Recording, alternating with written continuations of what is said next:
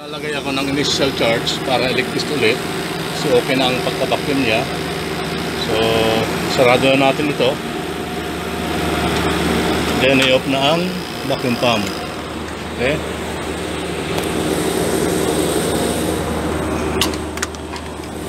Maglalagay ako ng initial charge sa high side kasi doon tayo nagkaroon ng leak. Doon oh.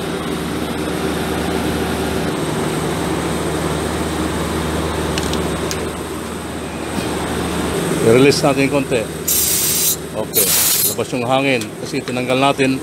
Nakakuha siya ng moisture ulit. So mag-initial charge tayo. Then, check ng leak test.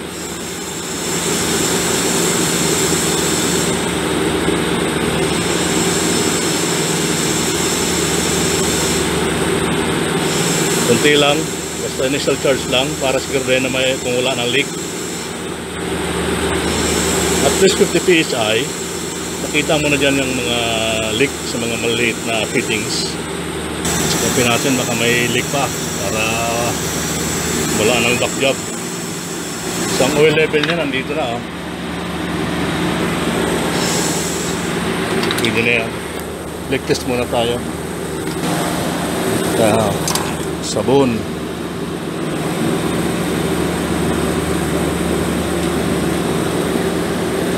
Okay. Ano yan? Tignan natin yung kaninang leak dito. Yun.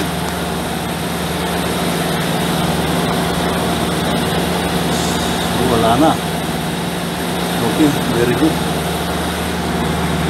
Wala nang bubbles. Dito.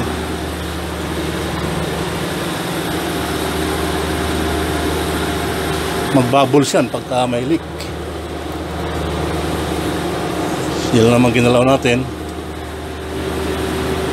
So wala dito sa king valve na tinatawag.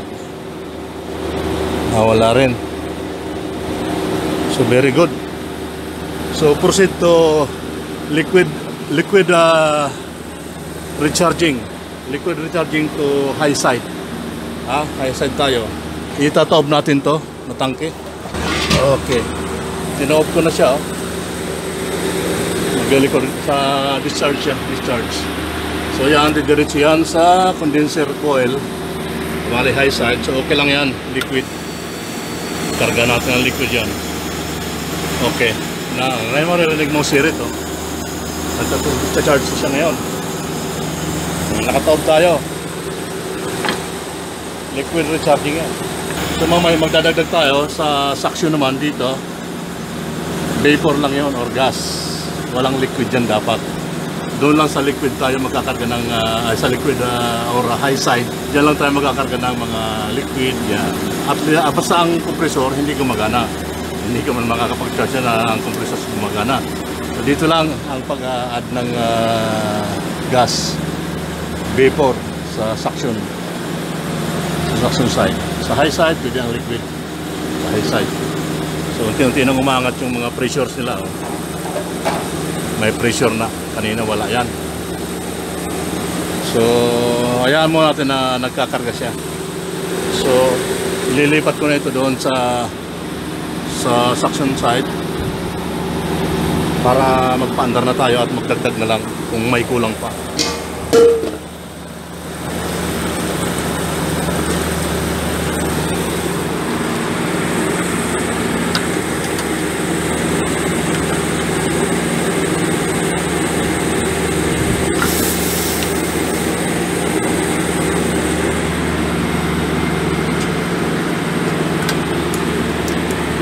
nilipat natin sa dito. Dito.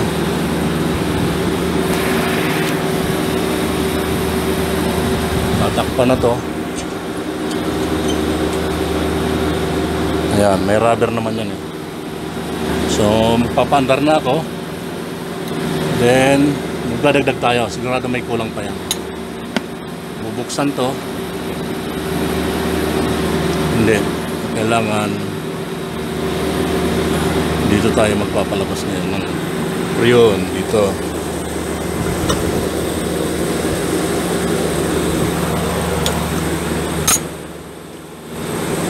Okay.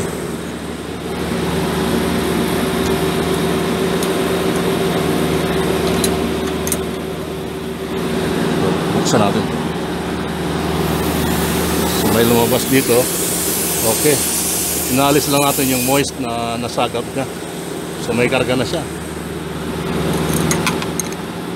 Buksan pa natin to.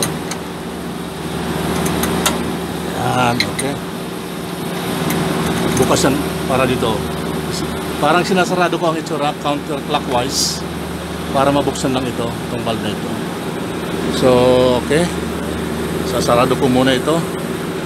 Itong ah kuwan, para makapagpanda tayo itong cover niya dito.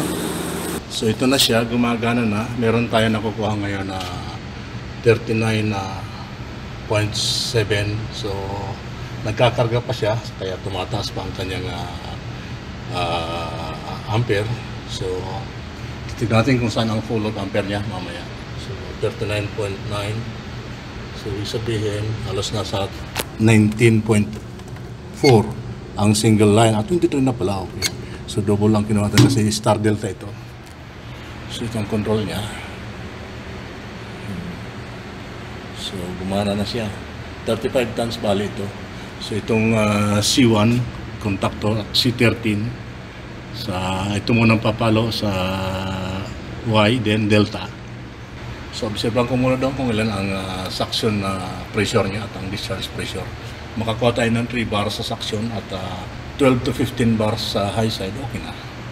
Ayun ang ah, vapor na lang. Tignan natin kung ilan na. At least maka 3 bars man lang tayo or 45 PSI. Okay na yan sa mga ganitong unit.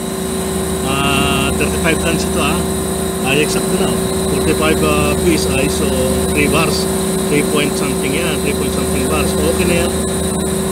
Kasi ito, hindi na pala ito gumagana. Papalitan ko na ito. So next time na lang ito papalitan. So ito na siya oh.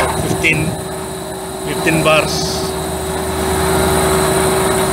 So, okay na. Tama na ang pagkarga. I-close na yan. Tapos na ang pagkarga. So, i-off ko muna ang unit.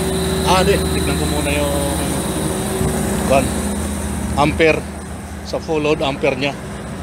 FLA. Ah, so nakakuha tayo ng 51 bale. Pailawin natin. So, 51.1 amperes. So, okay na yan. Full load ampere niya. So, least na kuha natin, na-repair natin yung leak. So, nakita niya man ha, ang daming pinalitan doon. Alam ba? 4.9. Ito yung sa condenser ah, ampere. So, 5. 3.5. Ito isa. Ito mataas oh. So, something is wrong sa kanilang ano, bearing. Hindi lang. Pero okay lang. So, okay na. Alright. So, yan, i-off ko na siya. So, na ulitin natin. Ako ay nakakuha ng full load ampere na 50.7. Siyempre, malamig ng panahon ngayon. Papasok na ang winter. So, okay na yun. Thank you sa inyong panonood, mga friends.